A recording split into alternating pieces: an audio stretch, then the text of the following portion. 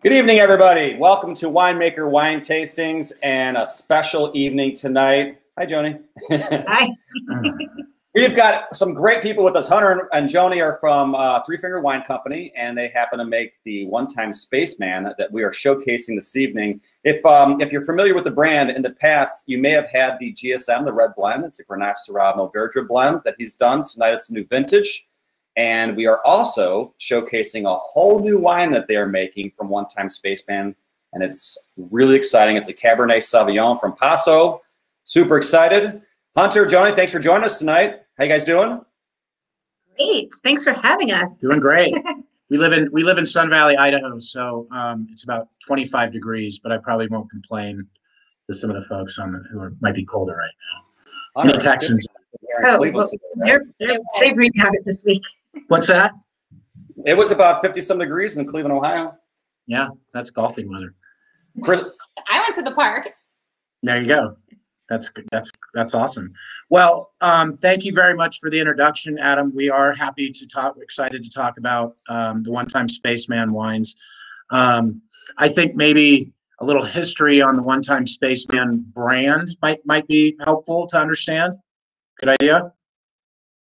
I'm going to take that as a yes. I think it's a great idea. Yes. Okay. I was giving you some free roll in there, but yeah, explain a little about one because I know you have a bunch of different labels. I mean, with the Sure. Kit Fox and you have Treasure Hunter and so forth. And I think most people know you for Treasure Hunter over the years. It's it's kind of your flagship. So I think it'd be really cool to explain One Time Spaceman and its background and all that good stuff. Sure. I'll give you a real quick, broad background. Um, I, I've been in the business for, for 20 plus years. Uh, Joni's been a managing partner for how many years? Like like forever. Six. six, just six. Um, so uh, we do almost everything you can as a supplier. We we grow grapes. My father's a farmer. I always show people my hands and say I am not a farmer, um, but I did grow up in that in that um, business, and started making wine from our own grapes 20 years ago. Over time, moved to the north coast, meaning mostly Napa Napa Sonoma region, and um, started finding really good lots of wine. So now we make wine. Uh, we're also what's called a negociant, meaning we buy finished wine. For our case, in a negociant, we do we import. Um, we import pink bubbles from Spain, um, but probably our, our fa- one of our fa- certainly I uh, we are known for Treasure Hunter, um, which is a purely negociant brand, and we do small releases from that. Um, many years ago, I was introduced to a gentleman uh, in Paso named Mark Adams. Um, Mark is was he is, still is the assistant winemaker for Saxum, um, which is probably the biggest cult winery out of Paso Robles. And um, we got along well and decided to come up with a wine brand together. Um, the reason I was down in Paso is I love those really big, intense um, wines that come from there, from those hot days, cool nights. Um, Mark uh, and, and with Saxum um, likes the wet, tends to work with the west side of Paso. so that's what we've, do, we've done. We developed this brand called One Time Spaceman. It's not a super romantic story. Um, we were sitting on his vineyard, sitting in, on his porch, which overlooks his vineyard. He's a vineyard, meaning he farms his own grapes and makes his own wine.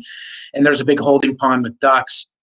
We probably had too much wine to drink, and he um, there was a there was a big almost like a farmer's moon where it was like bigger that that magnified moon and it was just beautiful. So we had a good time. There were some ducks swimming around in the water and we came up with um, really came around came up with the name moon duck for this specific wine.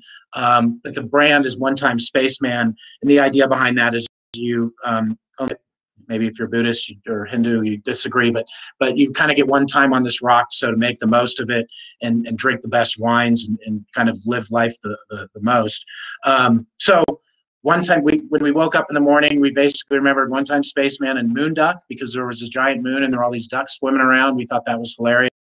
So it's um, the label is funky. It's very uh, Paso Robles, which is kind of um, kind of a uh, mm, old hippie kind of deal. It's very California. A lot of these uh, old, old, um, uh, not old folks, but people have been there for a long time. Their families were even in communes, stuff like that. It's a very interesting, cool place. And um, what we were interested in initially was working with these big Rhone um, wines that come out of the area. So we put this this blend together. It's consistent in that it's always a GSM, but sometimes every every vintage we throw a little bit of um, um, something else in there. It's been Tempranillo, it's been Petit Syrah, it's Petit, which is, is Petit Syrah this time. So it's a really fun brand. These these wines should would normally sell for a lot more, but we've got long term relationships with the um, growers there, and and they're all from really high end West Side Paso wineries. Um, we'll talk about the cab when we get there, but maybe the first wine that makes sense is obviously the Moonduck, which is a GSM and a, and a splash of Petit Syrah. Um, it's it's um, this is probably our kind of biggest cult brand. You were correct. Treasure Hunters the most in terms of volume. We get it, random calls from across the country saying, "I've got, I've had this wine with some friends or at a random restaurant, and like, where can I get it?" So, yeah, luckily we, we have quite a few wine shops that have carried it for years, and so yeah, we've got a nice loyal following. Um, we get calls from steak fancy steakhouses looking for this wine. I in fact got a, an email, a frantic email from somebody in New York, um, the girlfriend of a homeowner, of the homeowner's son, who had accidentally broken a 2012 bottle of Moonduck and was asking if I had any more. Yeah, well, I don't know how the 2012 Moonduck is is tasting these cellaring these days. Paso wines do not, or I shouldn't say Paso wines in general, but these are big, extracted, have intense wines, big alcohol, but big fruit, big big flavor that goes along with that. So they shouldn't taste hot. Um, but really voluptuous wines is, is, the best way to describe the wines we like to do, and that's what the region does best. Um, they're not going to make uh, soft Pinots or Bordeaux style Cabernets. You're going to get very unctuous, powerful um, wines from the area, and, that, and that's one of the reasons we like it. And the labels kind of match; they're kind of bombastic and and fun. Um, so, Adam, do you want me to? Do we want to? Well, Some I, of you I, might have the wine in front of, front of you. Yeah, and, and a couple questions, just because I mean, you know, like we obviously we go through these wines ahead of time, and and and I've had this particular wine, like Joni said, there's a lot of shops out there that just they are always carrying this wine, and I've always carried the past. It was it's it's phenomenal yeah. wine. So just out of curiosity, I mean, I don't know how much people know the difference between Paso and maybe some other areas of California. I know that you hinted on a few aspects of it. You know, alcohol level is around 14%, I believe, on these. Um, wow. So, or, or, or maybe it's not. But um, yeah, I mean, we taste the wine. phenomenal. What's the case production of it? How long can people expect to see this? I only ask because, like, I actually spoke to the distributor in Cleveland about this wine, and I know with Texas and a lot of the bad weather that happened, a lot of shipments that are coming out to the East Coast right now are, are hampered because of weather conditions. So, is there more rounds coming out to East Coast? Because I know they ran out, um, and I know people may want to try to find this. So, if you could hint on even like what you guys are seeing if you uh, on production levels, on whether there's more wines that are going out. And then lastly, we are really curious is on the back of your label, it says dolphin safe. Wait a minute, that was good. Yes, we're very serious about the dolphin. Um, I'm very so, curious as to what that means, and I was very happy when I saw it was dolphin safe. well, I mean, hopefully you're you're everyone out there is drinking dolphin safe wines. Um, it'd be a shame not to be.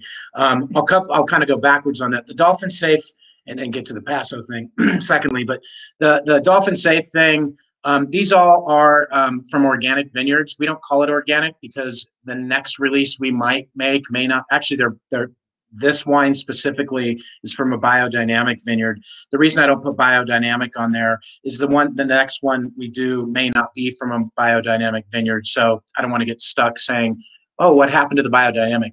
But they're all very um, environmentally um, sensitive uh, farmers that we work with, growers that we work with, um, and that's kind of the vibe there, especially on the west side. These really high end, really high end wineries, typically on their vineyards, even if they don't have organic as a claim, they typically are pretty much organic, not necessarily biodynamic. That's like a religion, um, but the organic side, even if they aren't labeled organic, really good producers. you know, they're not going to let their entire vintage um, be destroyed if they have to add something to it and take care of pests or something like that. But for the most part, the high end guys, pesticides, herbicides, fungicides are, are over um, for, for high end wineries. Um, so we work with those types of wineries in Paso Robles. the one time the, the, the dolphin safe thing came from actually there's there's terms in the industry like old vine. Um, that's a made up term. I mean, it isn't a made up term in terms of it means something, but I can put old vine on a bottle and they can be two year old vines. So um, certain words like that. criteria. Correct. Yeah, there's no criteria, at least behind that statement. So I was actually looking through what's called the, the Tax and Trade Bureau, the TTB, which oversees the alcohol industry. Um, like just going through their 200 page booklet for fun, I guess. And I was interested in seeing the things you could say legally without, um, you know, kind of claims you can make. And Dolphin Safe was one of them, and it just made me laugh. So I use Dolphin Safe, but it does mean something. It means these wines are very, you know, environmentally friendly. They're grown, the grapes are grown properly. Um, you know, uh, there's a lot of things out there, a lot of push out there for truth and labeling. Um, I am actually for that because our wines can can basically um, are made up of grapes and water and um, a little bit of natural sulfites added. That's not bad. There's more sulfites in a banana than a bottle of wine, everybody. Um, but maybe you have sensitivity to it. Um, I'm sorry if you do. Um, so the dolphin safe thing was just kind of fun and it jived with the brand. And it does speak to the fact that these are very um, green. I shouldn't say green's a bad word in wine. Very environmentally friendly produced wines. Um, talking about Paso Robles as a specific region, um, Paso Robles wasn't really uh, on the map for quite a while, kind of with California in the California wine history. It was kind of known for Zinfandel, almost like Lodi. Um, it's kind of known for white Zin and and and uh, big bulk wine production. Over the years, a lot of producers really find um, into the right varieties varietals to grow, and I've done a good job doing that. Um, I can't remember what year it was. It was probably eight years ago, where Saxum actually uh, got number one wine in the world for one of their wines, and that really kind of cemented Paso on the map as the number one wine in the world. Um, you know, that's those are all subjective. But if you're number one wine in the world by Spectator, you at least have to acknowledge that they're probably doing something right. Um, so the wines, it, it's a warmer area. The west side tends to have um, some more uh, mountainous d- different soils and kind of um, alluvial fans, if you will, that go out. Um, so you get different soils and you get um, very ancient soils. Um, it's very hot and it, it gets really warm and then the temperature drops a lot. So big variation creates that um, bombastic, big, big component of the wine without it being sort of flabby, without it just being one dimensional. The wines are big, but they have a lot of flavor and they keep going and there's um, a lot of um, um, complexity in them. Um, so, yeah, the history of Paso was initially not that great for wine. It was just kind of a, a central California type place that produced a lot of um, a lot of wine, but not necessarily a lot of quality. In the last, um, you know, 20 years plus, um, they're now known for as one of the excellent pr- producing regions, and we love Paso. We do a lot of Paso wines. Um, um, and, and is right there. It's not. It's funny, you know. People always want to compare things to Napa, which is understandable. I would argue that um, Paso Robles demolishes Napa for Rhone varietals, um, but they also do some other great varietals like Cabernet. Um, they just tend to be bigger, more intense, powerful wines than than kind of maybe. And there's some big ones, of course, out of out of Napa, but those tend to be a little leaner. Um, whereas some of our our Spaceman wine have pushed six, almost 16% alcohol, and you don't they aren't hot.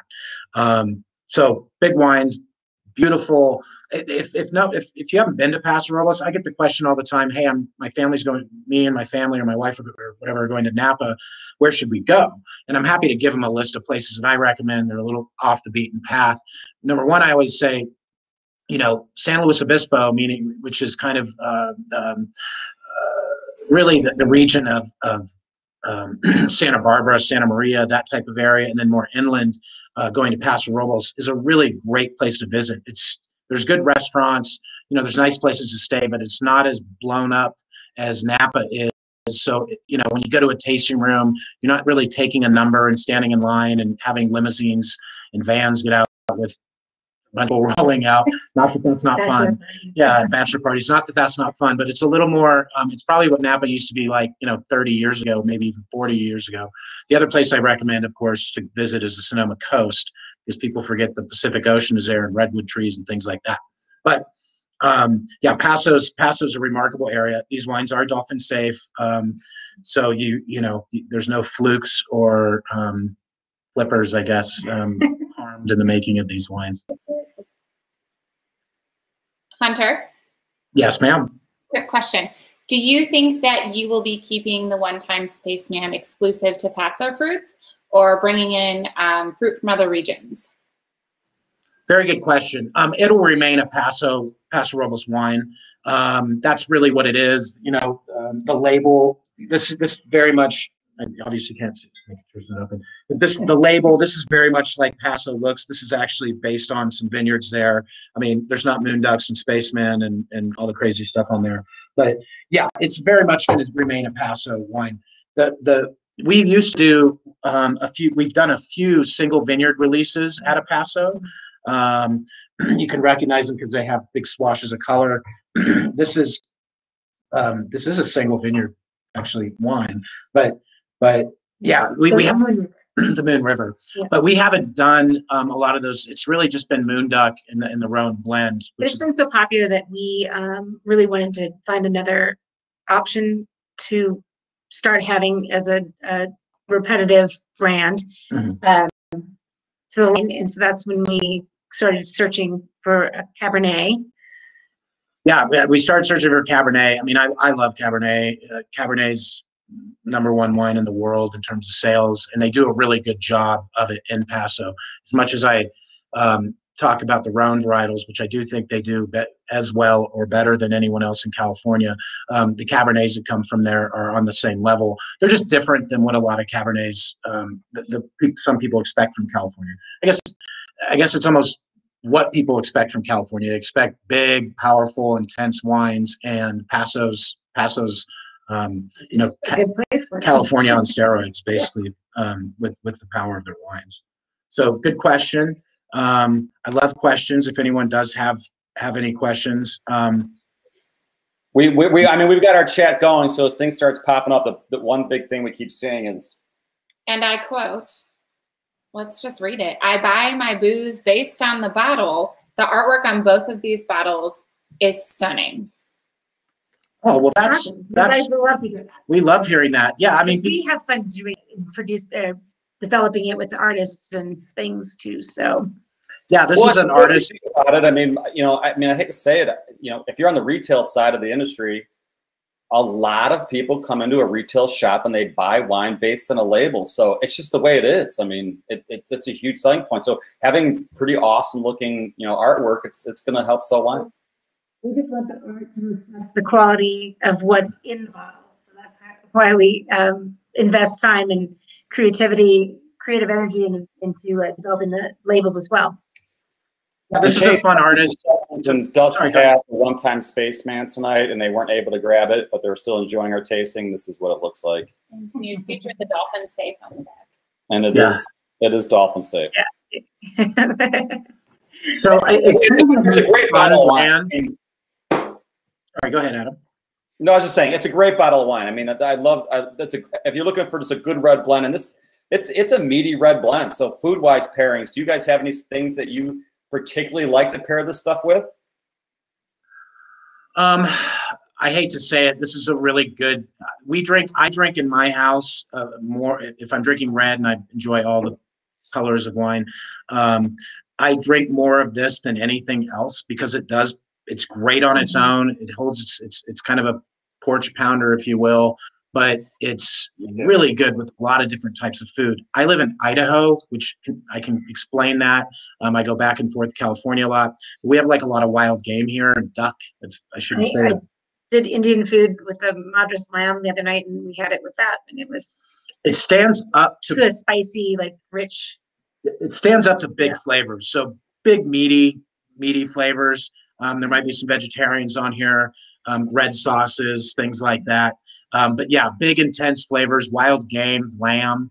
Um, but I'll be honest with you, I have three kids, so we eat a lot of pizza and cheeseburgers and stuff, and it's awesome with that. So it doesn't always have to be something that Master Chef Joni um, whips up. And she, she is a really good, really good chef. Um, it's, but it's really know, food friendly for the family. So if you're just sitting there at home, just, just brewing up a, a normal family meal, it doesn't have oh, to get. It goes with everything. It's good with chicken fingers and French fries too. It, but but it's definitely you know meat dishes, big big hearty dishes.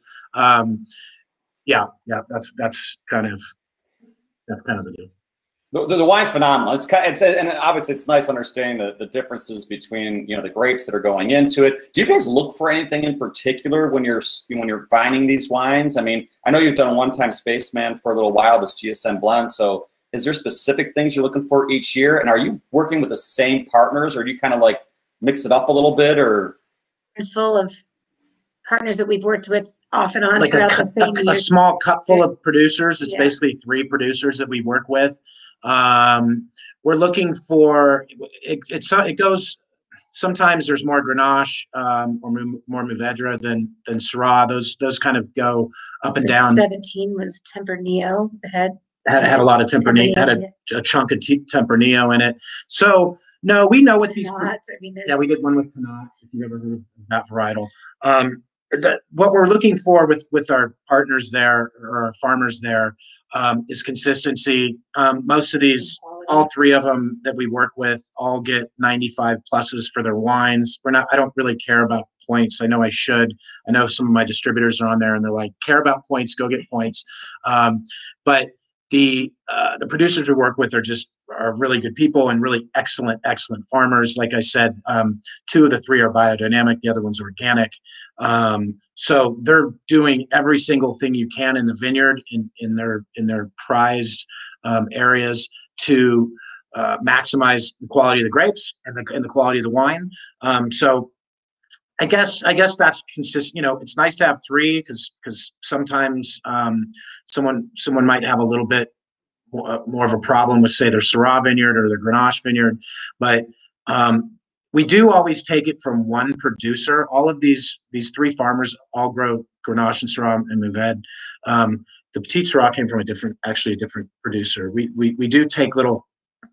We like taking the GSM. Traditionally, when we first did it, the reason we did that is um, Mark Adams, who was the original winemaker there and who was a partner on this, he's moved on to bigger and better things. He has a winery called called Ledge uh, Ledge that you should seek out and find. The wines are phenomenal.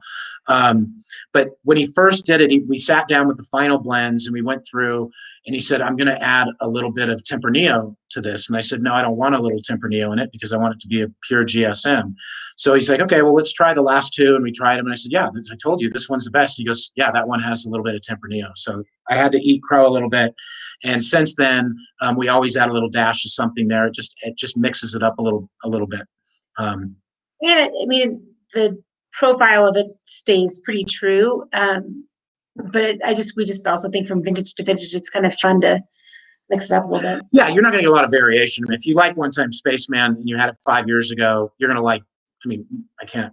You're probably going to like the this one now. Um, it's very consistent in, in terms of style.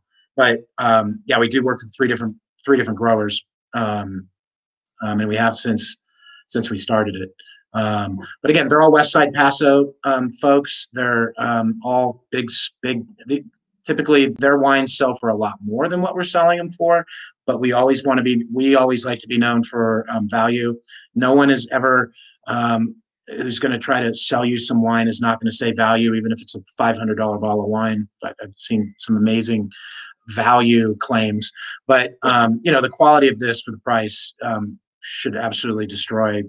We just did inch up slightly this year, but Yeah, the first time in over ten years. yeah. The fires were a real problem in California, um, and and affected prices and and did a lot of obviously damage. Um, so you might see wine prices eke up a little bit, especially out of the North Coast. Um, we try not to do that. Um, we've we've I think we've raised our prices once in 20 years, so we're pretty proud of that. Well, maybe twice. Only once since I've been around. Well, I mean, I gotta be honest. If if anyone here doesn't understand exactly how the moon duck was made, then they missed out. So please go watch the show again because there was awesome details on here. So we were, I mean, it's really really hard to try to take all that information, just go and put it in your head. So I do remember. Yeah. the Porch pounding wine. Porch pounder. Yeah. yeah. What was What's it? our goal with every wine that we make? Yeah, there's a term gulp. Um, I'm sorry, quaffability in the industry, and wines are quaffable, meaning they're very drinkable. Um, these wines are very drinkable. I don't always want to sip wine and have to think about it all the time. I mean, if you're watching this, you're obviously in a wine. Tasting. So you're obviously the tasting. So you do that sometimes. You sit and taste and think about it, and that's obviously because we're in this industry and we love that. But sometimes I want a big mouthful of wine and I want a big mouthful Absolutely. of flavor. And these these wines, you're able to do that. They're they're low. The acids there's there's acidity there, but it's it's not um, overwhelming. And you can get a big mouth. You know, you can take a. I like the, the quaffability term. I like the term gulpability. Um, you know, trademark gulpability. uh, um, but We try it? these wines are gulpable, um, and you don't have to enjoy them that way. And I'm not telling people to not promoting. not promoting drinking two bottles or whatever, but this wine will sneak up on you. This is one that um, will open up when we're working together, not working together, but when we're at dinner or, or, or working together. Sometimes. Yeah. Let's Um, work together. yeah. And This is work. we will go through it like a bottle goes like that, where you're almost like, did we spill some? Was that half a bottle when we started? It's just, it really goes down easy and Just a smooth. Waiter take it Yeah. and Bring it I mean. I, we're sitting here drinking it. Honestly, I think the wine is extremely approachable. I don't think it's over extracted. I think it's got really good balance to it. The finish is long. I mean, it's it's just an all around good wine. Whether you're just drinking it solo or you're drinking it with snacks, I could see how you could sit in your backyard and just, and just get into a bottle. But at the same time, if you're having dinner, this is going to pair very well with a whole bunch of different ideas. So, I mean, Yeah. to make a wine that's that well rounded, that's that's called success, if you ask me. Oh, well, thank you. It's, hard to do out of Paso because you almost have to tone it down sometimes and you tend to start chasing bigger and bigger. You can start chasing these bigger and bigger wines. And eventually, you know, they're so cloyed, they're so really one dimensional. And we definitely, one of the things we do talk about consistently with all of our brands is balance, um, as all wines should have balance. So certainly, we have a brand called Mumbo Jumbo and it's two elephants sitting on a teeter totter. So you can still be big, right? You can still be big and intense, but as long as you're balanced with acidity and fruit, um, you know, some of those kind of uh, key, key, key, yeah, some of those Nice, key, nice display, Kristen. so some some of those key words that we know out there. But yeah, thank thank you, Adam. I mean, it's it's one of my favorite wines that we make. Um, it's it's definitely one of our customers' favorite wines, and um, you know we've been doing it a long time. We're, we're really proud of it, and every year it's it's um, a labor of love. And that's why we decided to do a second option for everybody. Yeah. Would you like Are me to talk about? thinking We're gonna get to try the Cabernet now. Yeah, should I do a little transition? Yes. So this is our first release of Moon River. Um, the labels, I have a picture, but the, the label's a little bit different, but it's very consistent with the with the um, with the brands. You're going to recognize it. You know, the the the one time spaceman will always be black and white, um, but with any of the other releases we make and future releases we may do, we'll, we'll add a big swatch of color. I'm actually colorblind. Um, I'm in charge of color. so Joni's in charge of color. So if you don't like the color, it's Joni's fault. Um, but I was told this is like blue and red or uh, It's a gradient. It's a gradient. It's a gradient from violet to red. There you go. So um, um, I'm not like blind, blind. I know there's some color there, but I can't really define them that well. And this is So- the first year that you guys have done this one, correct? Very Oh, yeah. first, first release. First yes. release. So some of you are the first people to try it. I mean, it was just released. Um, Two and a half months yeah, ago. two and a half months ago. So um, we do release wines um, that are ready to drink. So that you know, a lot of people ask me how long can this cellar.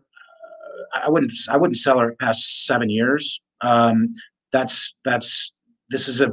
These are big bombastic. Not a ton of acid that's going to hold it forever. And most Paso wines. Um, I mean, I, I was fortunate enough to drink a bottle of, of the number one Saxum wine with Justin Smith, with the with the winemaker, and um, um, you know, I said, "How long is this going to drink?" And he kind of winked at me and said, "Not, not forever." And I said, "Well, I know not forever. That means six or seven years, frankly. So th- these are not Paso wines. Typically, are not wines you want to cellar for a long time. All of you are going to come back at me and show me examples of ones that do cellar really well and get better with time, and that's that's definitely the case. But these are pretty big wines that, that move move quick. And through a couple customers in the, obviously Kansas and Oklahoma area, this week we found out that they can withstand a little bit of cold. Yeah, this Adam, your point on the cold, it's it's really been tricky. It's it's slowed down pickups uh, from our warehouse, things like that. We shipped, we actually shipped, um, you know, some direct to consumer um, For this, stuff for this. for this event. event, and if and a couple of Longer than we expected because of the cold and then had a little, some, some of them were actually pushing corks, meaning the cork was pushing up. So those got really cold and then warmed back up. Um, it's okay. Heat's really what you don't want with wine. You don't want wine to freeze. Um, you don't want wine to get too cold for an extended period of time. But it shouldn't. It, they, they should recover pretty quickly. Heat, on the other hand, if it gets too hot, as as many of you know, um, I, I've gone. people ask people have asked me over the years to come look at their cellars and tell them what they should drink now and what they should save. And I've seen like racks a beautiful wine with the heating duct, right? You know, the, the the vent right underneath it blowing into the wine. I'm like, well, drink this one first because these have all been roasted for years, I'm guessing. Um, but anyway, jump into the wine a little bit. Um, this is from the Adelaida district, which is another on the west side. Um, Paso was carved up into a lot of different appellations. It almost was going to kind of be a west side, east side um, Appellation split. The East Side folks really didn't like that. Um, they have a chip on their shoulder. And that being said, we've also we've done one release of it was called Ohana, and it was it was a single vineyard release, and that was from the east side. So I'm not trying to bang up on the east side. Just in, typically the west side is is more of like the Oakville or Saint Helena uh, of of Napa or of Paso Robles, if you will. So um, frankly, this is this is as as big and yummy as this wine is, and people make fun of me. I love to use the term yummy for wine, but these are yummy It's wines. requirement for our wines. Right. They have to be kind of exactly. They have to they have to have a yum factor. Um, so this is actually just above fourteen percent. Um, one of the things I, I, this does this does have a little bit of Petite Sirah and a little bit of Malbec as well. Um, Very small, very small. yeah, but but you you might get some of that in there. Um, that's what the um, the wine Kind of buffers it a little bit. It kind of refines it a little bit. the, it adds some color and it adds um, the, the Petite Sirah, I think, adds even more drinkability, and the Malbec kind of adds adds some shoulders to it, I guess, if you want to try to add shoulders to Cabernet. um, but you know, I mean, some of the some of the the the um, description descriptors we used were uh, obviously black cherry. I shouldn't say obviously, but black you know black cherry from that region is definitely uh, consistent. Strawberry pie, kind of Carolina smokehouse. I get a I get a um, um, kind of a savory, meaty quality um, that I really love in wines. Um, and uh, black currant, uh, little espresso, a little milk chocolate. This people sometimes confuse uh, mal- ML fermentation with chard. Well, not confused, but they assume it something that goes with Chardonnay and makes that's what makes it buttery and oaky or buttery, and that's true. Um, red wines also go through malolactic um, fermentation, and it adds to me um, a uh, smoothness or roughness to it. Um, it's not, you know, it's, it's it's a little bit different than that creamy component in reds, but this is this has that, and that's something that we will consistently do with this wine. This is a wine that we're going to sell out of, and not just be able to snap our fingers and, and get, and get and get more. But um, we will consistently do it. It's just when it's gone, it's gone. One time, Spaceman, we try to make enough to get through the year. Yeah, yes, and there's a chance that there'll be a little lag between um, releases of this, um, and then just like the Moon Duck, it might have kind of the same personality, but like with a little different kick here and there for from vintage to vintage. So Yeah, there should be, you know, there's people talk about they want consistency from a wine they love. And of course, uh, you know, um, I want, uh, if I go to In and Out, I go to In and Out Burger because I know I'm getting In and Out Burger and that's what I like. Um, that being said, from vintage to vintage, there should be variation. If there's not, then you're talking about more kind of Franken wines. You're talking about more yeah, mass produced wines that contain other stuff like wine flavored wine drink to make it all taste the same all, all the time. So very some variation from vintage to vintage is a good thing, right? I mean, the grapes uh, had different had a totally different growing season, um, different amount of solar energy or sunlight. Um, the whole terroir, you know, is kind of a, um, a moving, evolving thing. So vintage to vintage, there should be a difference, in my opinion. But yeah, consistency is is a big thing, and this wine will be consistent. If you like, if you like the 2018 Moon River, you're going to like the 2019 Moon River. Um, but this is this is one of my favorite releases we've done in a long time. Um, we we've had opportunities to do other Spaceman wines, um, but this this just kind of sat us back. we, we got it and we're finally like, oh yeah, this is it. This is the one we're gonna actually do a cab with. yeah, yeah. So um, Cabernet is I should say obviously is is the is the king of of red wines. I would say Chardonnay is the queen. Um, it's not sexist. I have three daughters, business partner. Just just they're kind of the king and queen, and um, that hasn't changed for quite a while. Um, and, pa- and Paso does a very good job of, of Cabernet. They, Big Reds is is and they do a, they they do a great job with whites too. A lot of Rhone whites come out of there. You, I've seen some pretty good Chardonnays, but um, Rhone, Rhone and Cab, and then some funny, funky Italian varietals do great there. Um, they call those Cal-Itals. Um, those haven't done so well in the market over the years, and no one's been able to truly capture that. But um, we like the Rhone Valley, and we like uh, we like Burgundy, and we like Bordeaux. That's that's for sure, and Spanish varietals too. You a teaser. Speaking of Spanish varietals. Oh, yeah. I mean, we're here to talk about Spaceman. We do have the we do have the Treasure Hunter line. Um, the new the new Treasure Hunter International line. The new Tre- Hunter, True Treasure Hunter National, and we are getting ready to release a red, uh, a red and a white, and they're both Priorats um, from Spain. So those are kind of cool. Just something that's coming down down the chute. Mayish. Yep. Yep. We're very very excited about that. But in terms of in terms of Moon River, um, you know, uh, Joni came up with the name. Um, I think it was great. It matched it matched the label. It matched what we're doing. Same artist. Um, you've still got the Moon Ducks taking the wine up to the uh, mothership uh, to be made into wine. Very funky. So, quick question. We were we were just kind of chit chatting about this. I mean, you know, Kristen brought up the idea of understanding that AVAs all have different rules on percentages of of varietals. So, Chris was like, "Oh, you know, how much Cabernet is in this?" Like, you know, is Paso different than other AVAs? I mean, because you said you put Petite Sirah and Malbec in there, so we're kind of curious as to how much cab is in here and what the rule is. Paso rules different than other places? I mean, oh, really good question. So there's different um, for varietal for to say it's Cabernet Sauvignon or to say it's a Syrah or Chardonnay. It has to be at least 75% of that varietal. Um, that's a pro- over 80%. Yeah, this is over 80% cab. It's roughly about eight, eight or nine off the top of my head. I, I know I should know, but it's yeah. about eight or nine percent of Malbec and, and eight or nine percent of Petite Sirah. Um, so, um, for it to be from that appellation, uh, I believe 85% of it. I mean, this is 100% from the appellation, so I don't have to do any math. We typically it. do that. We typically don't um, do things from different AVAs mixed. No, I mean sometimes. Well, in Napa, sometimes you'll get into where it'll be some from St. Helena and some from Oakville and some from Valley Floor, Napa, and things like that. It's also from the same vineyard. Yeah, yeah, from the same, from the same producer, same vineyard. Um, this is all from the same producer, two different vineyard sites uh, that they have, right? And even though they're the same district, same district, same Adelaide. So, but so.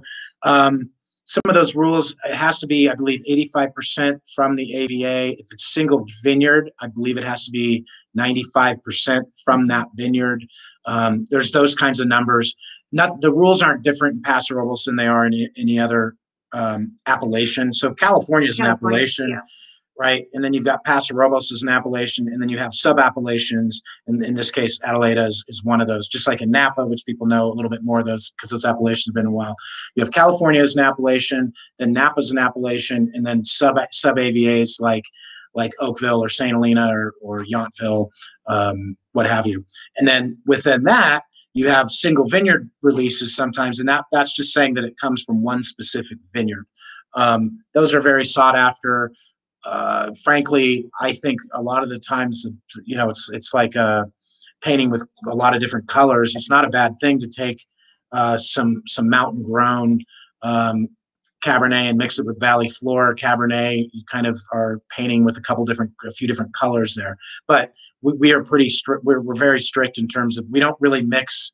We do, we don't mix appellations. Um, we do one wine uh, that's a Cal- that's a California appellation, and that does come from coastal vineyards. So that does come from a few different places. Um, but uh, when you're talking about this type of quality, in my opinion, you're not going to mess around and pull something from this appellation and this appellation. Um, so Paso's Paso's a, a pretty pretty old um, AVA, and the newer sub AVAs are only really a few years old. It was kind of a big deal when they did that. I don't know how well they're going to catch on in terms of AVAs. It just takes time and it takes the producers in that appellation to market that appellation. Lodi is an example of an appellation that used to be known really for for white Zin, um, and they've done a really good job improving their vines and getting the right uh, varietals there. They still do really good Zinfandel, by the way, um, and so does Paso. But um, they've spent the time and money and resources to promote that region as, as, a, as a great uh, region, and they've really brought it up. Business side, we, we understand. You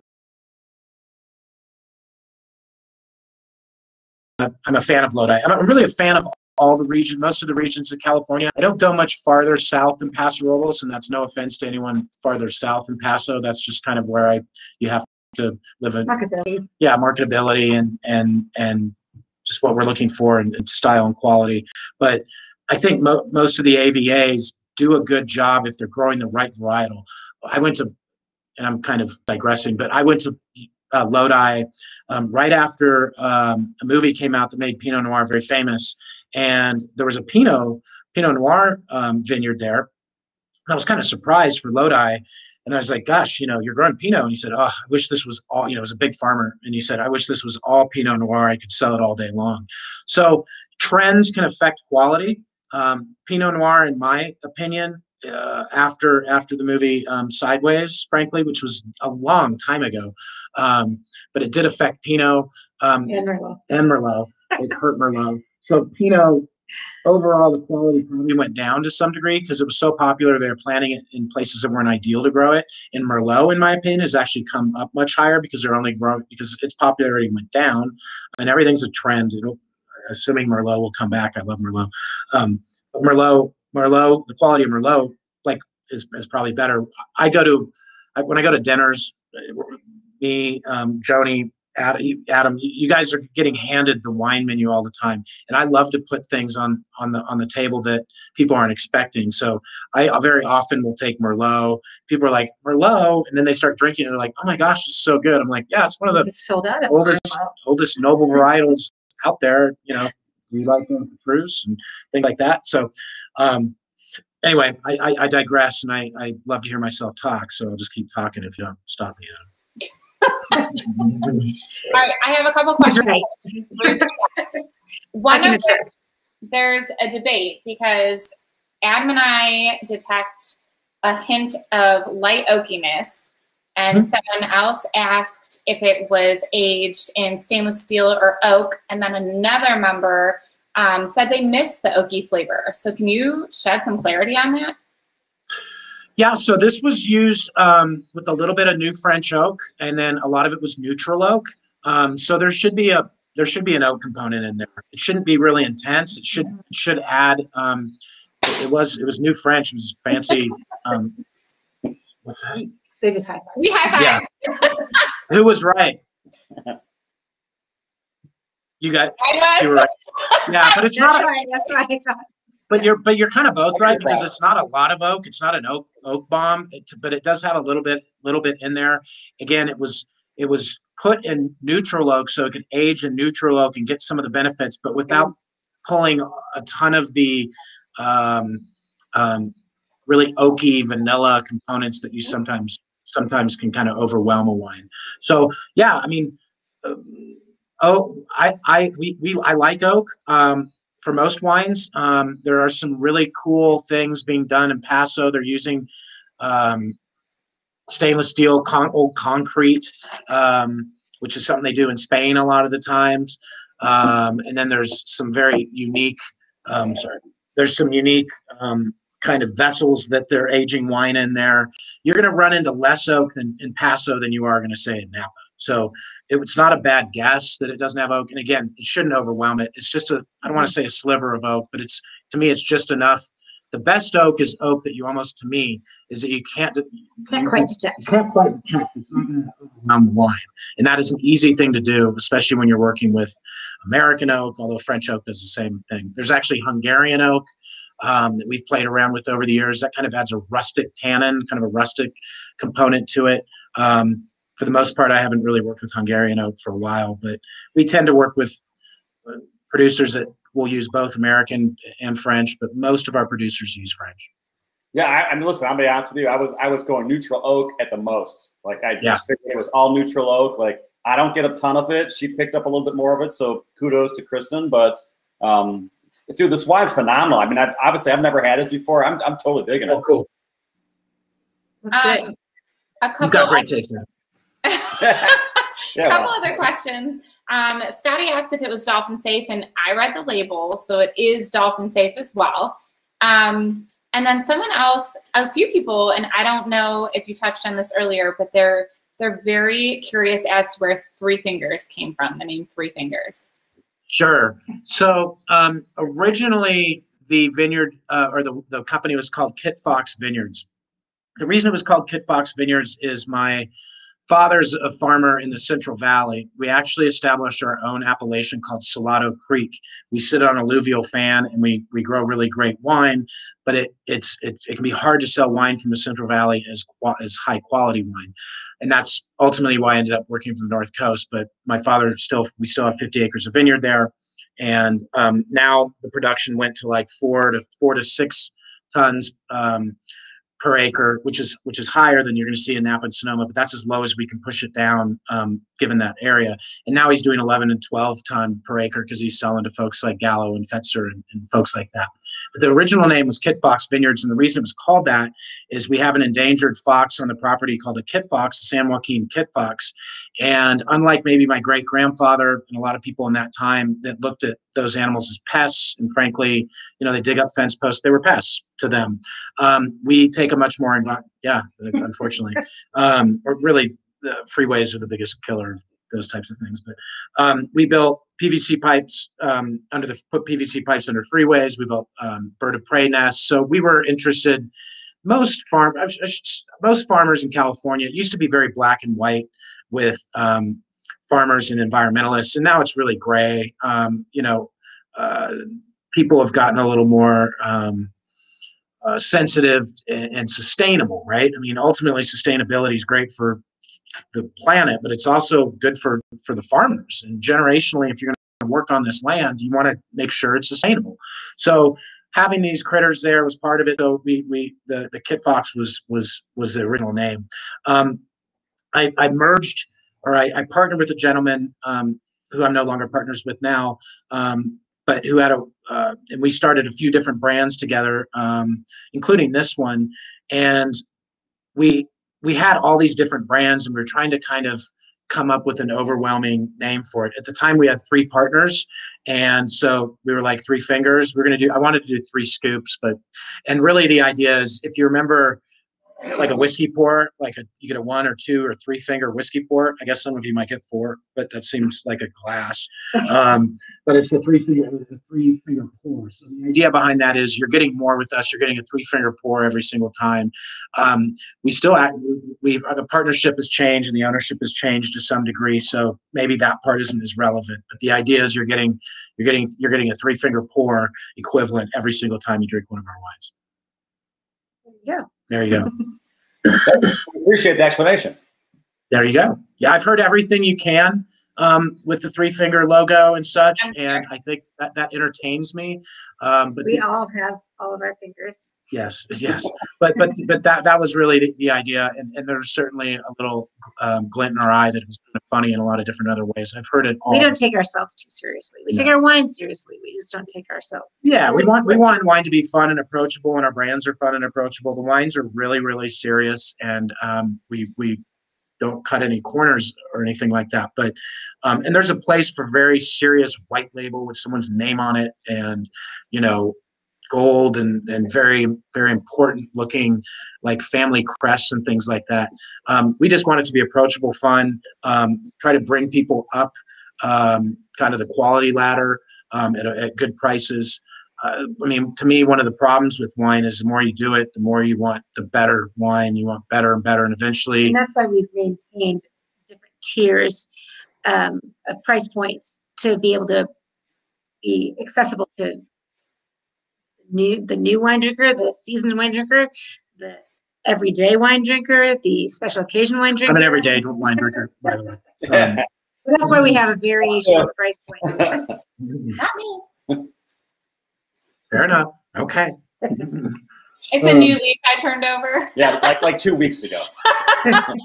2000, you, were you around in 2020? I feel like Wine drinking time. 2021, I turned this new leaf over. very uh, good. Well, good for you. Yeah, I mean, wine, enjoy wine how you want to enjoy it, of course. Um, but yeah, this is out of out of most of your uh, your wines, and you guys have a slew: the Treasure Hunter Yeah. series, the Mumbo Jumbo series, the One Time Space Spaceman. I mean, for me, these wines are they have a complexity to them that, that not that the other wines don't, but it's just it's above and beyond. Like I'm kind of blown away on this cab, to be honest with you. Like it takes. I'm not. I've never been a, a huge Paso person personally. Yeah. Um, but this is not for me. It's not like typical Paso. Like the expression of this wine is very like it's dynamic. I don't know. Like I, I you get great fruit, and I love the fact that you put Petite Sirah and Malbec in it. That Malbec gives it like this almost like earthy, leathery spiciness to it. Um, the Petit, Petite Sirah gives got a nice jamminess, which I think people are used to in California wines. They want that big fruit forward wine. So I mean, it's an approachable wine. Drink now. You said seven years. I mean, I bet it could hold up even longer, but I, I think it could. I just, you know, as as as you know, um, guys, it, wines go. Sorry, wines kind of go like this in terms of quality, and and then it flattens out, and then it really goes down much farther. It's not a bell curve, right? It's it's it drops. So I never want to be in that down, like you know, this. So as long as I'm kind of in that first part of the slope, it's good. So seven wines, I- seven years. I, I think it'd be continue to drink great after seven years but why wait seven years? People, you know, this drink's really great right now. It, will it drink better in a year from now? Yeah, probably. And I haven't been around as long as Hunter, but I have come to know that we have a lot of very loyal customers, and I get the best reports from people like to tell me like how like the 2011 is drinking or Yeah. you know I I love getting those. We love we love um, we love that we're small enough that we have interaction with direct interaction with our clients. Joni has one. We have one customer. but Joni talks to him on a weekly think he's basis. probably here. Yeah, Hi, Mr. Macklin. yeah. We, we love we love our customers. We love talking to them. We love the feedback on the wines. Um, you know, we listen to it, and and it's an important part because um, you know we're out we're out there doing our thing and think we're doing it right, but we need we need that feedback. We do drink a lot of other people's wines. Um, I drink a lot of we drink a lot of our wines because we have a bunch in inventory and um, um, we like them, but we we don't just drink our own stuff. We drink a lot of other people's stuff just to see what's going on. We like to see innovation without um, sort of uh, bastardizing wine, but that's okay too. I mean, you know, the bourbon barrel wines I think are very interesting. Um, I, I like seeing that type of innovation. We we haven't done anything like that because we're we're kind of purists. Um, but Yeah. Yeah. But, you never know. I mean, I I thought about it. Um, We thought so. we thought about it briefly of doing like a bourbon wine. Nick, you can chase trends, but we're really into just making the best wines we can every time. Um, this is not really your average Paso. I would agree, Adam. This is not your average Paso cab. Um, That's what struck us about it. yeah, I mean, it was it was it ta- it, it it is it tastes like Paso, but it's it's really a refined. I mean, it's got power. It's got but it's got some grace and it's got some some elegance and some um, um, complexity um, that is not you won't always see in Paso. If you like big giant jam packed wines, go to Paso. You can definitely get them, but those are pretty one dimensional. And to me, if I'm going to drink a whole glass of wine, like if I'm drinking that much wine, that's delicious. It's like cake, right? Like I love cake. I mean, who doesn't love cake? But I don't want the whole cake. I want like a piece of cake. Um, this is a nice piece of cake. This isn't just a cramming a bunch of sugar or a bunch of fruit in your mouth. It's it's balanced, com- complex. It's it's beautiful. The color's right. It's it's it's um, for us to we haven't done a new spaceman in years and years. Um, besides besides Moonduck. Um, so for us to do it, we we obviously believe this was really special, and that's that's why we did it. And it's our hope to keep, continue doing a, a cab, but. It's we're just pretty- not- We're it- just pretty particular. Yeah, we we don't have a spigot that we turn on, and just if we need more, we need more. So we do run out of things, and this one we will eventually run out of, but we'll try to get more in the bottle. don't run out of the cab. We like it. Uh, We're all, gonna order now. all good things, you know. I, I don't know. Um, We, we're trying to get more. Believe me. Um, I'm and a we fan of the. GSM over Yeah. here. Yeah, she, Um, she lets you. are there any older vintages available? And do you guys have like a favorite vintage? Not directly from us, Okay. but in some Yeah, shops. you might find some in some wine shops. You'd really have to look. Um, no, we, we- I mean, we, I used to keep a, a library of everything we did. We do so many releases, especially with Treasure Hunter, that library became a mess. Um, so then I cut everything from a case to six bottles. And now I've got, I really don't even. I've got a handful. You know. No, I mean, I might be able to pull out old, um, I know I can pull out some old, uh, one-time Spaceman wines, but we don't have any available, unfortunately. Um, but check around out there. The 17, in terms of best one, oh gosh, um, The 16 and the 14. 14 and 16 were pretty good. I would put this up. I would put this in that list. I'm not just saying that because that's what you're drinking, and I want you to buy a bunch of it. But um, yeah, the, the the the those two, and then going back farther, um, I- think yeah, I think I think it's got a little more refined over time. When we first did it, it was it was really hit you over the back of the head, and I think um, the brand is matured in a sense, and it's still power, but we there's maybe a little more grace in the wines now than than six, seven, eight years ago. Uh, Joni keeps pouring me more. And she should because Joni, isn't it your birthday on Saturday? Oh, 26. You are owed a birthday cheers. It it slipped on one of our conference calls, and I put Yeah. it in the Happy birthday, Johnny. Oh, yes. Happy birthday, thank you. Joni. Everybody that's watching. this watching, is starting off my birthday celebration weekend. Thank you. Well, happy birthday. It's a big birthday, like 30. 30. you guys are great. I don't even remember 30. Um, um, but yeah, so um, fun wines, approachable wines. Um, we're grateful for the following of them.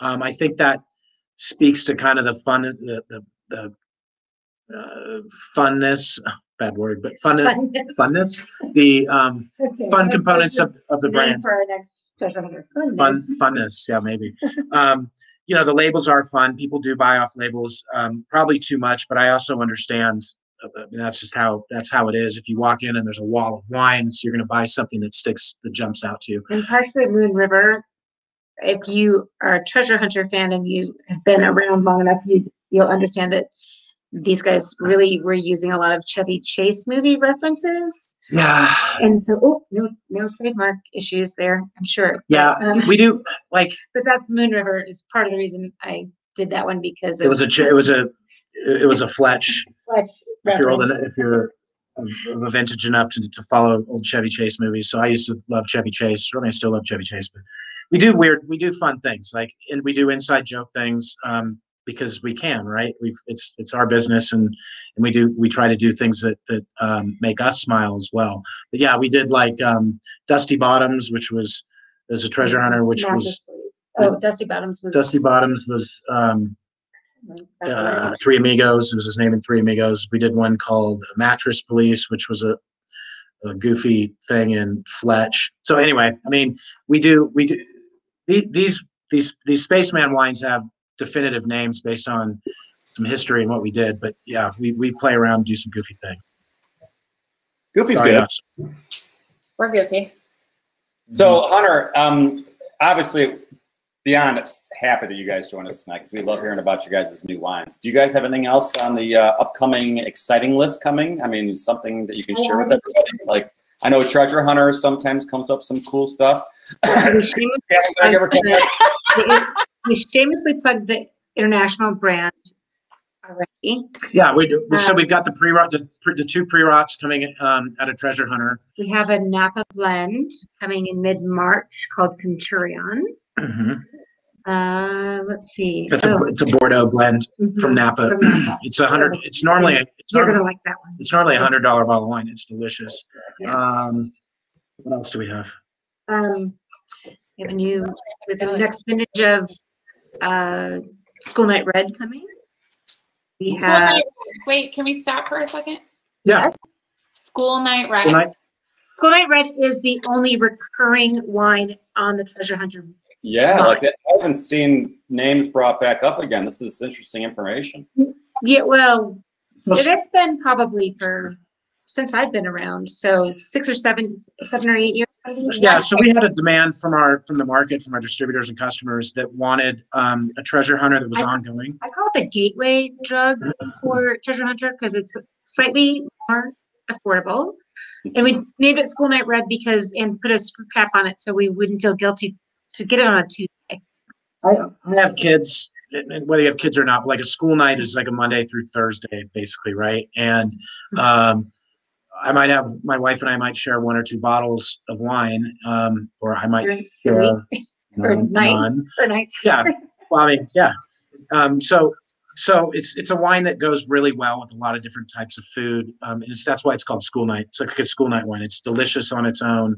Um, it's delicious with a lot of different types of food. And if you have to open two bottles, you're not going to break the bank too much. And it what it does in the industry is it gets a lot of glass pours, and and it, people like that wine, and then go up the line and start drinking more of the treasure hunter wines. We actually have treasure hunter and then we actually have a brand above that it's like a reserve treasure hunter called treasure sellers um, That's the white, the fancy white. that is a white it's got a, it still has a couple, Elegant label. it still has a couple guns on it um, but um Wine's worth cooling over. there you go there you go So so that's kind of what we have the wait real quick on the space um, I'm, I'm sorry on the um on the uh, mumbo jumbo we did just release uh, a new chardonnay uh, to well fairly new Add, added a Chardonnay and a Cabernet. And a to that Cabernet. line. to that line. So those are those are pretty new to the market. So Lodi Cab, Central Coast Pinot, Central Coast Chardonnay. And those are designed to stay twenty dollars and under. Um, It varies market to market a little bit on what you can um, get them for. Um, and then let's see, on the same ship as the Priorat, we have another load of our Viva La Vida Rosé Cava, So which is unique. It's, So good. which is, well, like I said, it's the only wine that I think that we should sell in two packs. Or bigger bottles. Uh, and that's, Hunter, serious question. Is you ever going to bring back the scallywag? Did you say Izzy? The Scallywag. So that was a that was a we actually did. We did um um we did another release from the same winery we got that from. The Scallywag, I'll go ahead and say because it was long enough ago. And if, you, So if you're a distributor and you It's- distribute it, it's- since it's then. changed hands. Gallo Gallo Now it's inflated like. Gallo bought it, but before Gallo bought it, um, it was it was prisoner, and it was a it was a prisoner release. Um, fun. We got s- we got some prisoner before it was Was the prison. everybody before it was knew- Gallo, before everybody- and um, yeah, and, and that was fun and very well received. It was actually better than the prisoner because it was a, just a, it was taking components that they had and and we blended them ourselves. Um, we have actually maybe bought from that winery a- again. Um, we try to buy wines from the same folks as much as we can. Um, but yeah, This is the reason we buy Yeah. it from them in the first place. exactly. I'm So just saying because I hear this all the time. That scallywag was so good. Like that scallywag is so good. I know. And we did change up the label. We put like some like tattoos on it and some some different changed up the label a little bit. It was kind of a special one, and I knew it would be popular because of that the popularity of that brand. And it, and that was And, it- that. and I think it really came out right at the cusp of its kind of from cult to like super popular.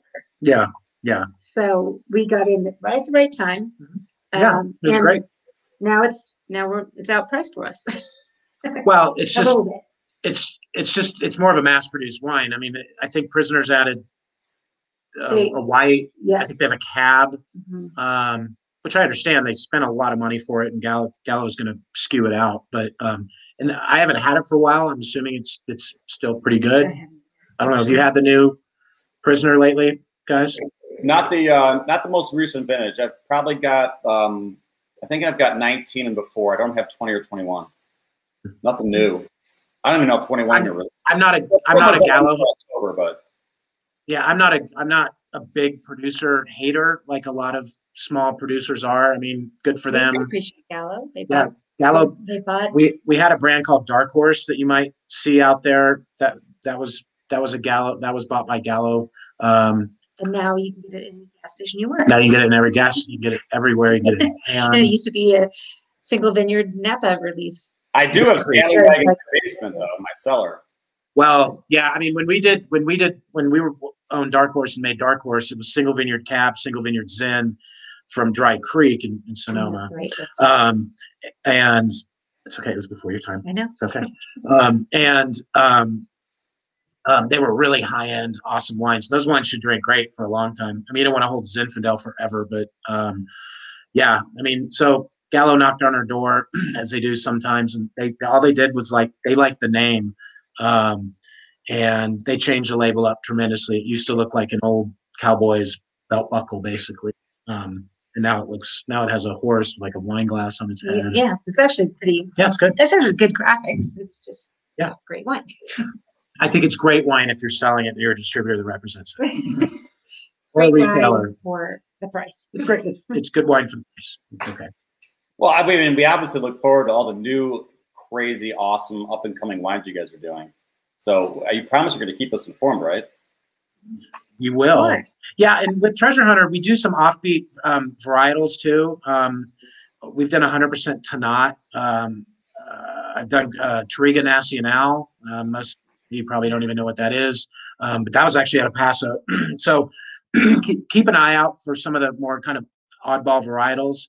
People trust us um, in Treasure Hunter by um, because we we consistently release a lot of different wines, but they're consistently good. So it's always an honor to have people try varietals they're uncomfortable with because it carry because it's in one of our labels. I mean, Rhone blends might sound exotic. Um, they they kind of are out of California, but but but the reason G GSM is like a term is because those three varietals tend to go really well together. Obviously, Cabernet is not super exotic, although I would I would um, claim that this one is very unique. Um, but yeah, keep an eye out for some of the more funky varietals and blends we do. We don't have any rules in California like they do in a lot of regions like France. I can take a Rhone blend and mix it with uh, mix it with a Italian blend if I want to, and that lack of rules has has has been a good thing for California. and then we're able to, to really make make um, unique wines. We also don't have rules um, uh, in, in terms of being able. We just don't have the, some of the strict rules that you'll see in Bordeaux and certain in certain areas like that. Some of those international areas are changing. Uh, many years ago, France started allowing what's called chaptalization, which is a fancy word for adding sugar. Um, so it's interesting that the New World has has changed a lot of the old world styles of wine, which I think is is disappointing. Oh, one of the things I want to mention, I, again, I'll, I'll stop talking at some point, but um, what a lot of these producers in um, Paso Robles that focus on these Rhone varietals, they're kind of always their their hero is is Chateauneuf de Pop.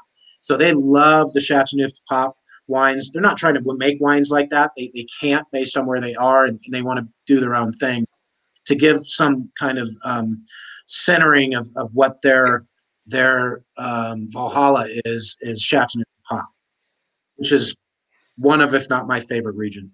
Certainly. in France. Nuts are super yum. Now, Adam, I feel like last time we could see everybody, like we don't get to see our our fans. So that was at my house, and I had my Okay. friends over. Um, and we're actually pulling in wine parties here and there, just so um, we have more interaction. So for all of you that are watching right now and you're enjoying our night with uh, Treasure Hunter and One Time Spaceman and Kit Fox and Three Finger and everything in between, Yeah. we'd love to have you join us on one of these wine tastings. If you're interested in hosting a party at your house, let us know. We'll send you a link. We can actually pull you into our live virtual wine tasting. You can ask questions of the winemaker and his associates, and it's a super good time. So Well, I Do mean, we have any questions? yeah. Any Is more there, is there any other questions? questions or you know concerns? I hope that. My What- bottle is empty. one, one, of- one of the things I, I will say to everyone listening out there, whether you're a distributor or, or, or you know, uh, a wine drinker or, or um, retailer, restaurant, what have you, I've done a lot of, quite a few, believe it or not, I've done a few of these virtual tastings um, since last March.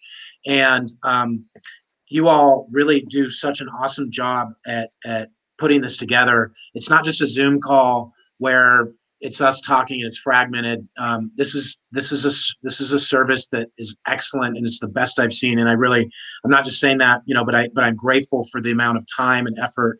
You know, I was getting the comment from Adam, like you know, I'm going to give you a Logitech uh, camera, or give you uh, where you can buy it because your camera is terrible, but just the quality of the of the of the program that they put together. I mean, I'm just I just try to not get in the way, or we try not to get in the way. So we're grateful for the excellence that you put forward. Well, we appreciate that. I mean, Chris and I both work very hard, and and we're, it's it's all about growing. We want to bring the winemaker and wineries to the people of this world. And it's it's hard. I mean, not everyone can just go travel to a winery and go check it out, even especially in these times. So to be able to bridge that connection and allow people to interact with the winemakers and the owners and the, and the people that put these things together, I think it's I think it's a really cool thing. So Hunter, I mean, we've known each other for a long time. You have no idea how much I appreciate you, your winery, the wines you make. Joni, you've been amazing. So we really do appreciate you guys being a part of this, and thank you so much. Well, Okay, and we like thank to do it, and I think we're gonna try to do another one, um, featuring Mumbo Jumbo line, Yes. um, in like six weeks, two months, About, something like about that. a month and a half to two months, six to eight weeks. Yeah. So Mhm. we'll get it on the calendar. So everyone that's out there that's watching, we got a bunch of new upcoming tastings that we're going to tell you about here briefly. Yeah. But um, we're definitely going to get some mumbo jumbo going too. And then I can't wait for Hunter to send me a text message saying, "I got a new Treasure Hunter line coming." Well, we do have the one coming out. Yeah, The, the the- Centurion. the Centurion's really And just then after, awesome. after that, we'll definitely do one for the international line for the new Priorat. I think just because um, it happens to be from Spain, that will probably feature the Viva La Vida as well, because because that's our We do a Spanish apocalypse because it might situation. be our favorite child. Oh, did I say that? yeah, we didn't talk a lot about the Viva La Vida. The Viva, I mean, just just one more quick, like it is 100% Pinot Noir. It's from Penedès. It's made like champagne. It's a fraction of the cost of champagne, and it It's a drinks it drinks like an Bargain. drinks like an $85 grower's champagne. Um, pink bubbles are are an important part of life, in my opinion. So My opinion as well. yeah, yeah. I mean, uh, I drink I drink Moonduck, a lot of Moonduck. I mean, I drink all my wines, but I drink a lot of Moonduck and I drink a lot of Viva La Vida. Um, not necessarily in that order, but I will mix them, you know, in the same night. But anyway, um, I digress again. You know, uh, I don't know if, if, if any, anyone has any questions or if, you know, I'm, I'm grateful for everyone's time. Um, I urge you to reach out to us with questions. Um, ask for these wines in shops if, if you're um, having trouble finding them. We're in we're in most markets. We aren't in every state, and I'm sorry if we aren't there. We'll, But we'll we've been there eventually. surprisingly added a few new states um, through the, we're in the middle of process of adding Maryland, Iowa, um, re-engaging in, in Georgia. We just we Um, just started in Kentucky. Um, I actually tried to go visit Kentucky. Oh, and it was, it was it was beginning of last week, and we Yes. had I basically went there and turned, back in 48 I hours. I basically went there and turned around. It was frozen. And it was it was a mess. So it's been tough. It's been tough. I'm used to getting out in the market. We were so excited to be able to like have the opportunity again and like, Mother Nature did not agree. but this is this type of format has been amazing and be able to continue to communicate and i think it's it's not going away i mean for for me to be able to reach out and touch people this many people um, uh, is a really wonderful i guess that's one good thing that's come out of this is um, not having to maybe fly around as much um, although i do enjoy it but this sort of interaction is is we've done a few of them i, I might be getting worse at them i don't know but um, but Hunter, they you're are saved. I mean, things they're like coming along. You're, This is things, true. things are going in a different direction. I mean, uh, you're clean shaven now. I mean, i you know it's a new yeah. Hunter. I had a COVID beer that was pretty serious business. Uh, And My wife told me know, I I, I just a lot older. I just took a peek at our stats, and just so you know that we have viewers from nine different states tonight watching this feed. So I love that. Awesome. That's awesome. Well, Yeah. um, we're grateful for your time and grateful for your business. Um, you know, we're we're a small little winery, and we want to stay that we want to stay that way. Um, we we we, we love we love our organic growth into different markets and in, in, the markets, but um, We throw out specials once in a while, but we really want you to encourage you to support your local wine shops Yeah. as much as possible. Sometimes I know that they don't carry every single thing. So yes, you can come to see us online, but um, we prefer at any point that I, I actually try to um, connect you with your closest local wine shop first. we're wholesale driven. Our our partners are our wine shops, our restaurants. Um, that's that's what we're about. I mean, yes, you can buy wine direct from us, buy it locally. It's, it's less expensive typically. Shipping has gotten horrendous. Shipping's become really expensive, and people don't understand so, how. If you guys don't mind, I'd like to give a little love to a couple shops right now that that really out of their way today um, over the past couple weeks to yeah. support this event. Um, one here in Cleveland was Red Wine and Brew and Mentor. Um, great group of people. They brought the wines in in advance. They've been selling them for weeks. We had a bunch of people go out there and pick up their wines. So thank you to the people from Red Wine and Brew and Mentor. And I believe you. you guys had someone, I want to say Kansas, Kansas, Kansas City area. So I would love to give a shout out to them because they supported our event and you guys, and it's it's nice to give a little love back. Wines by Jennifer. Yes. Thank yes, you. Thank you. Yep, you guys are our lifeblood. We're so grateful to our wine shops that in Parkville, know, Missouri. In Park, and and the, the and and the wine shops. You know, I'm not banging on grocery stores or things like that. Of course, you can go get wines, but the wine shops really tend to to hand pick. yeah, to tend to hand pick. You know, support your your local wine shop because they're tasting everything that goes in there. You're going to find things that you won't find in, in grocery stores. I understand the convenience of grocery stores, but develop a relationships with your local wine shop. It's kind of a relationship that you'll have for a very long time. The reason Adam and I really uh, uh know each other is he, he had a, he had a retail shop and we got to know each other, um, become friends since then. But those types of wine shops, everything that goes in there, they taste. Um, they know what's going on. They can talk to it. Um, they get to know you as a customer. The best wine shops I know, the customer goes in and they say, "I know what you like," and they fill up a mixed case of, of stuff they'll like, and that's it. what it's about. Yeah, that's how we met. It is. I bought an entire case of wine.